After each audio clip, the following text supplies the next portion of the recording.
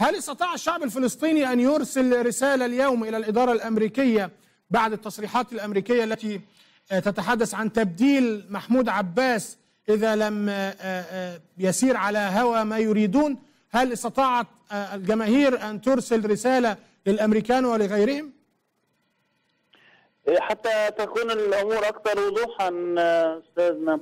الأمر غير مرتبط بعباس أو غيره. الأمر كان يرتبط اولا هذا يوم الأرض كما ذكرتم هو مناسبة سنوية فلسطينية ترتبط منذ عام 76 بالتضحيه في سبيل حماية الأرض الفلسطينية. الجديد في هذا الموضوع لا أتحدث عن, عن أن أن الناس خرجت لعباس ولكن أتحدث عن التفاف الشعب الفلسطيني بكل أطيافه نحو العودة ومسيرة العودة. هل هذه رسالة؟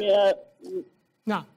100% هذه الرسالة كانت لها علاقة برفض كل ما يتعلق بما يتم الحديث عنه عن صفقة القرن التي سيكون أحد أركانها الأساسية وفق ما رشح عن بعضها أنها ستنهي حق العودة وملف اللاجئين الفلسطينيين. لذلك هذه هذه المرة كان هذا الرد بهذا الشكل. توحد الفلسطينيون جميعا خلف راية واحدة الغالبية العظمى خرجوا اليوم.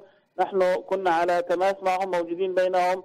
كانت رسالتهم واضحة. أننا جميعا جئنا إلى هنا ولا يغلب عليهم الفصائل الفلسطينية ليوصلوا رسالة واحدة وهي مطالبة بحق العودة.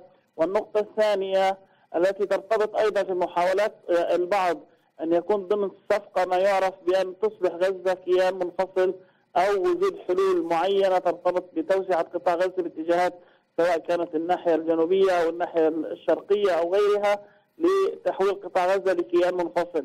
اليوم خرج الجميع وخاصة اللاجئين من قطاع غزة وقالوا قولة واحدة بأننا سنعود إلى أراضينا ردا على هذا المقترحات وهذه المواقف.